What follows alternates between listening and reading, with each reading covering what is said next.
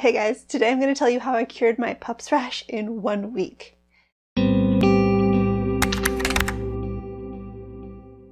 Now, clearly, there's a large amount of clickbait that went into that title.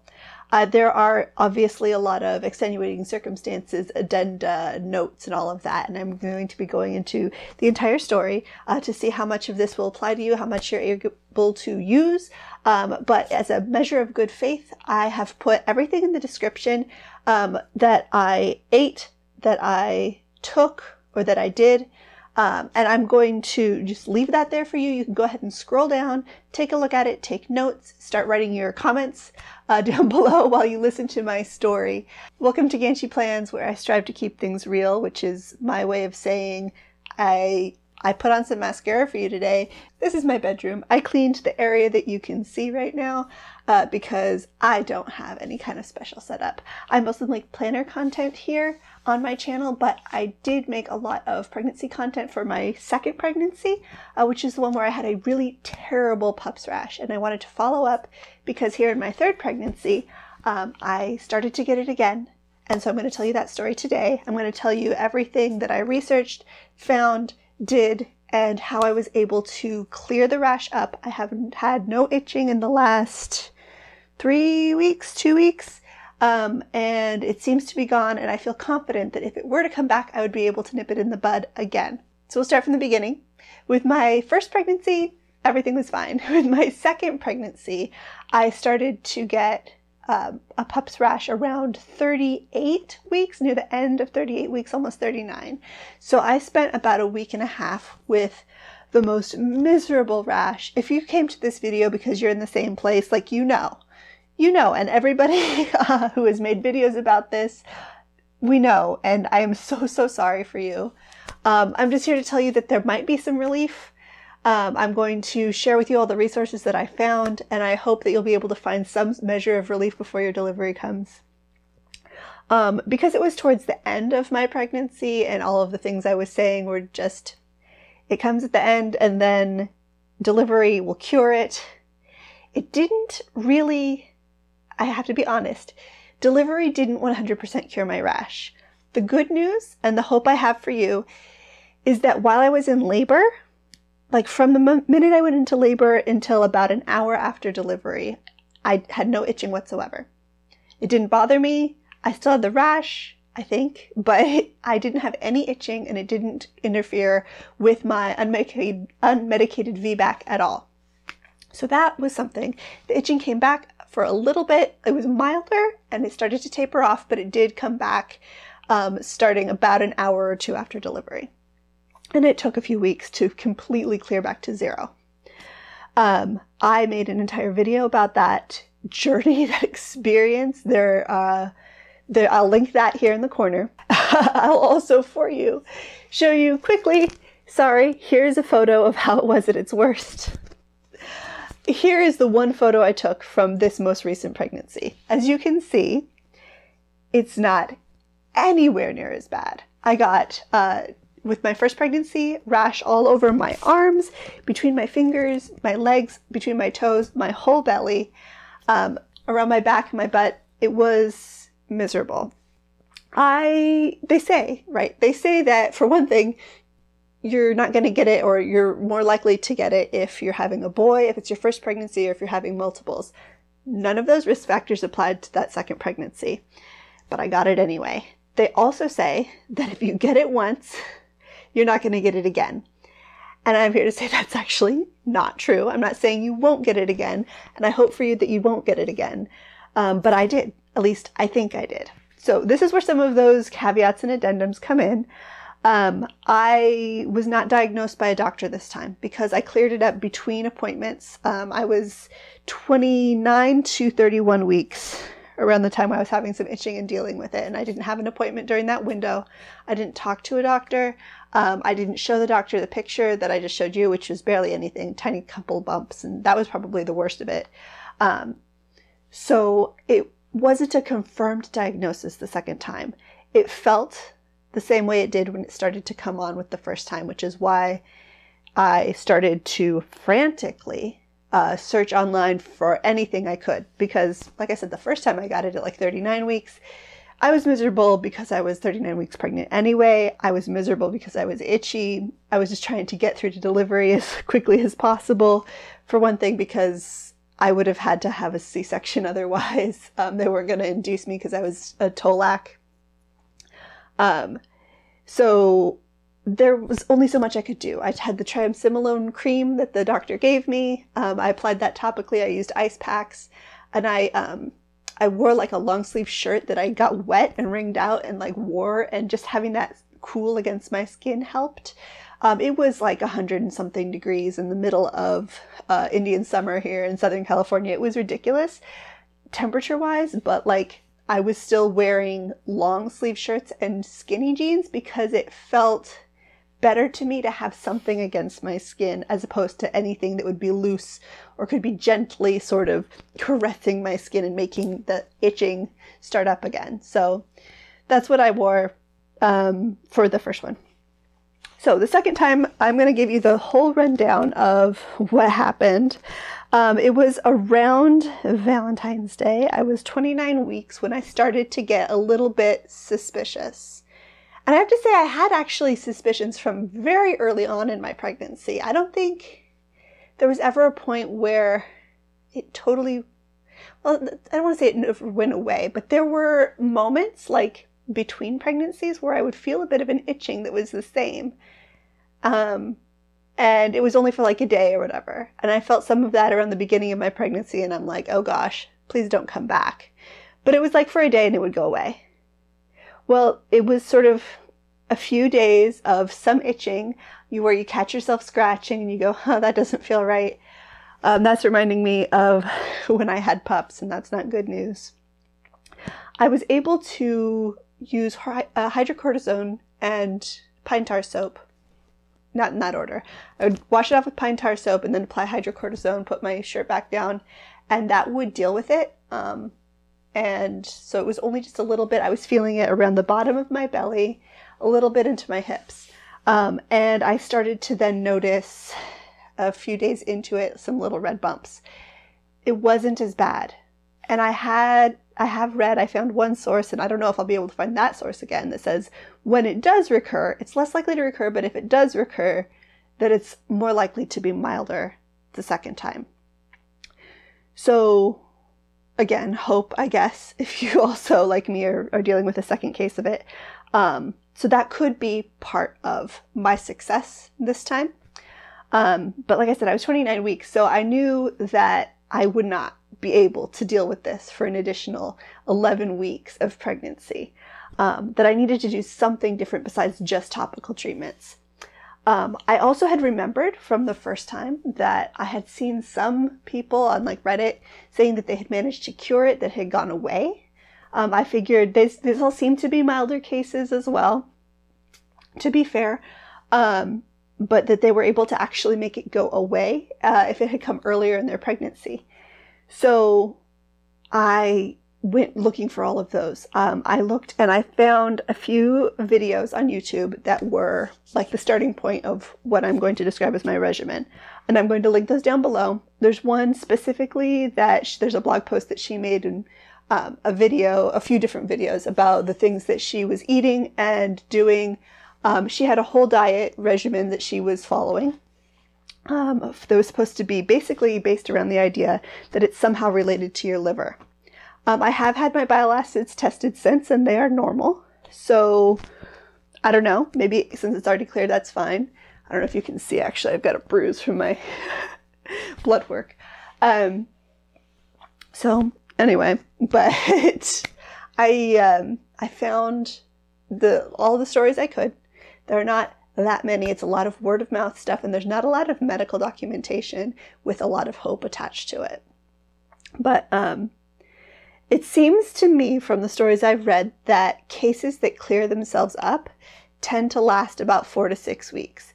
And even sometimes cases that start near the end of pregnancy will take that four to six weeks, you know, into the postpartum period to clear up. So it could just be self limiting that way. So maybe if I hadn't touched it, it would have cleared itself up in four to six weeks, but I wanted to be as aggressive as possible. As a result, I tried every single thing and I don't know which ones worked. So they're all in the list. If you want to do exactly what I did, maybe one of them will work for you. One of them worked for me. At least one of them worked for me. Um, and I wasn't able to determine exactly which ones because it, it cleared up quickly enough and hasn't come back that I wasn't able to do a lot of like testing. I tried to wean things off in a certain order, but it never came back, so I don't know uh, which thing was like the magic bullet. But um, I started taking remedies February 18th, uh, the day before I turned 30 weeks, and by February 25th, at 30 weeks, um, everything like had there's barely any itching on two tiny little spots right just north uh, northeast of my belly button. And then it, it totally went away after that. So here is everything that I did for my regime, my regimen, my schedule. Um, every single day, this is what I was eating. I would wake up in the morning, and the first thing I would do would, was drink a pint glass full of lemon water. Some people said it was supposed to be warm. I got it straight from the fridge, whatever. Um, then wait 15, at least 15 to 30 minutes, and then drink um, a vegetable juice. I started with like a green juice that I got from Trader Joe's, which was pretty good. Um, and then I tried V8, which tastes like tomato soup. Whatever. Um, I had heard a lot of things about V8 juice being good, so I went ahead and got that because it's a little bit cheaper than getting the fancy stuff from Trader Joe's. Either way, something that has celery juice in it was what I was looking for. Then wait an extra 15 to 30 minutes before having breakfast. Um, for breakfast, you want to keep things dairy free and fat free, basically low protein, um, gluten free, I guess, if you can. And then, so what I had was a coffee with a splash of almond milk, and I had overnight oats made with almond milk. I put walnuts in, and then I had it with a banana. Um, you're supposed to, I guess, avoid dried fruits in the morning, have fresh fruits. I was also trying to see if a banana a day would deal with my um, nighttime leg cramps as a separate issue. And as that side issue, if you're having those, which again, probably a lot of us are, um, I expected the bananas to help sooner, but they actually took like a week or more before I started to see results. So I think that's why I had just suffered through leg cramps with two previous pregnancies because just taking a banana a day for like a couple days, it's not going to show you a result that night. It's going to be like in a couple of weeks. Um, but it might help you because the leg cramps have dramatically reduced since a couple weeks after I started eating one banana every day with my breakfast. So that was breakfast.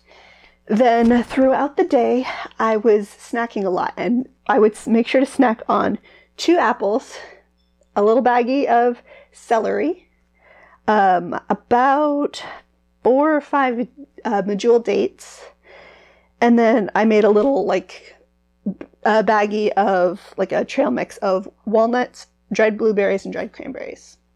The idea is going for things that are anti-inflammatory or antioxidant.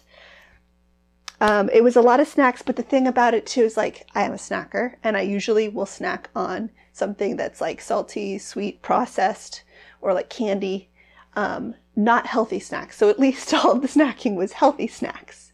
And I think that made a big difference, just changing my diet, honestly.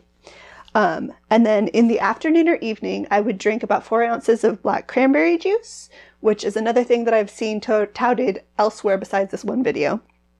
And then also, um, I would, before bed, have a cup of dandelion and nettle tea. So I'm gonna actually, I brought some of the stuff. This is the V8. I got low sodium because why not? And it was available. Um, yeah, my one and a half year old loves it.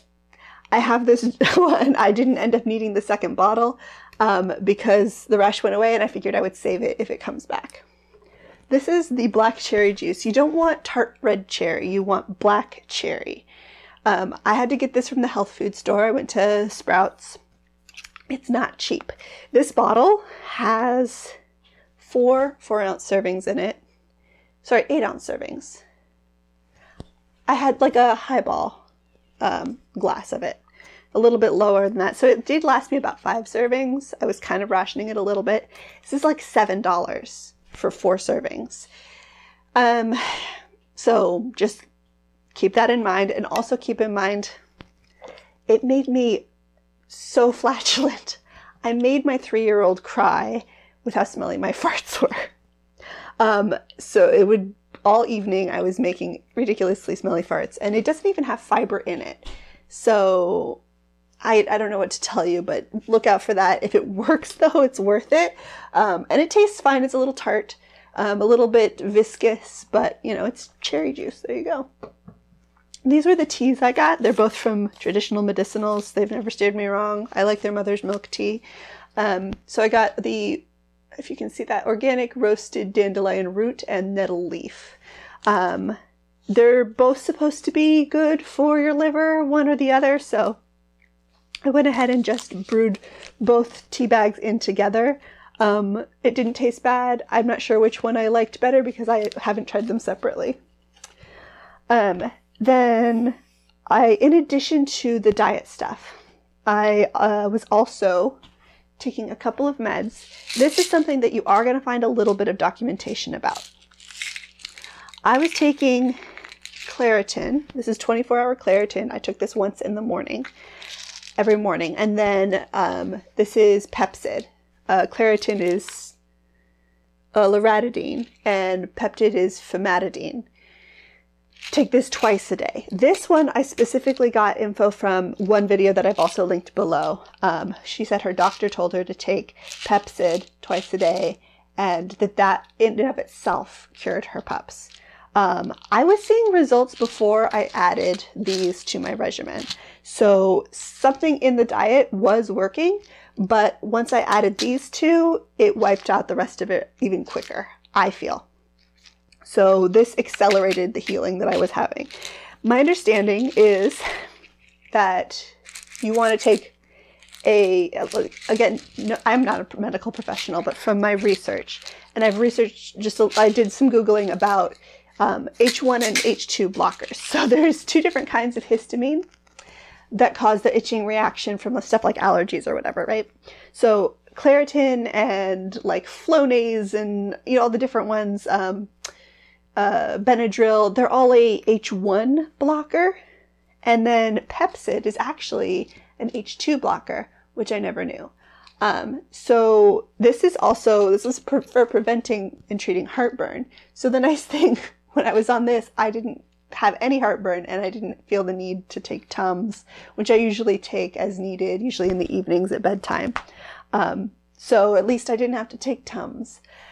But um, so having an H1 and H2 blocker at the same time, um, the H1 can deal with the itching and the H2 will deal with the rash and keeping the rash contained and possibly shrinking it and dealing with the red bumps and stuff like that. So that combo I do think is very uh, beneficial, but obviously since it's drugs, you can talk to your doctor. Both of those are considered safe for pregnancy. Um, they just say to only take like one kind of each, only one kind of a histamine one blocker and one kind of histamine two. So you could take a different allergy medication other than Claritin. Um, I mean, I went with the non drowsy because, you know, I have life to live. Um, and so that was also a big help. I'm going to post those links down below. Like I said, there's also a third video that is a topical treatment that I never tried, but she swore by in this video. So I'm going to link that below as well if you want it. Um, and I will try to find the result when I Googled about taking H1 and H2 blockers together and how they help. Um, that was the result I found wasn't for PUPPPS specifically. It was for like just having a rash that had no cause. I was learning all kinds of medical jargon, so um, that's going to be a little bit more of a difficult read, but it gave me a little bit more confidence in what was going on. And then obviously I did all my research and confirmed that I wasn't taking anything else that was going to interfere with those or cause any kind of reaction and that they're safe for pregnancy. But I did, those were the first things I stopped once I was cleared of all of my um, symptoms. So, uh, in addition to all of that, after a couple days of my diet, the itching started to go down, and as a result, um, I wasn't feeling the need to use pine tar soap anymore, though I still had some. I had it in my um, shower, and I used, I took like one hot shower and I used the pine tar soap. Um, you know, they say not to take a hot shower. I'm sure you've already, this isn't your first PUPPPS video. They say to take cool showers and that the hot water will like inflame the redness and cause the itching to come more. And I did notice that, it was super red and my daughter even noticed it um, when I took the warm shower. But then I took another hot shower like a week later and there was nothing.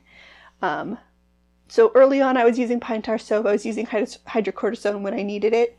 Um, but once the itching started to go down, um, I felt like I could risk using just like a normal lotion to hydrate um, without it aggravating my itching. And so this is the uh, moisturizer I use on my bump um, I used this with my first, and then I didn't use it very much with my second, and I thought maybe that was the reason. Like, I didn't get stretch marks, stretch marks with my first. I did with my second. Didn't get pups with my first. Did with my second.